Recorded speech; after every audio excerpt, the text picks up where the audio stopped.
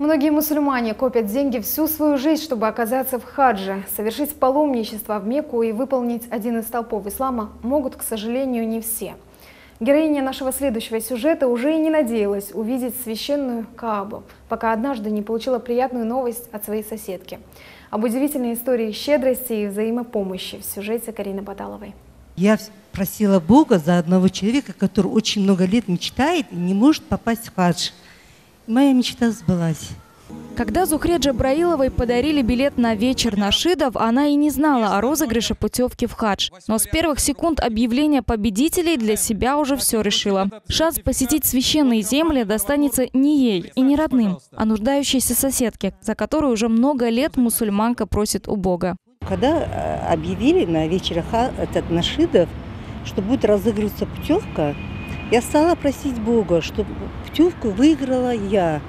Для того, чтобы отправить соседку, которая очень много лет мечтает попасть в хадж. Дочка, хотя сама тоже несколько лет э, все время планирует этот хадж поехать, но у нее не получается. Тем не менее, когда она услышала эту новость, она очень обрадовалась. Зухра уже была однажды в хадже и очень хочет снова туда поехать. Но признается, что сделать этого не смогла бы, ведь соседка так давно об этом мечтает. Свои желания женщина отложила на второй план. Лет 40 я мечтаю.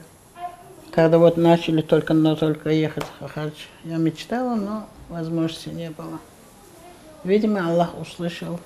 Всю свою жизнь бабушка Зайнаб жила небогато. Работала посудомойщицей в столовой, воспитывала двух детей без отца. Их надо было накормить, обуть, женить. Как тут деньги соберешь на хадж? На пенсию 8 тысяч далеко не уедешь. Сын строится. Возможности помочь матери у него нет. У меня сын тоже был хаджи, правду сказать. Когда он 16 лет был, он исламский университет окончил меня.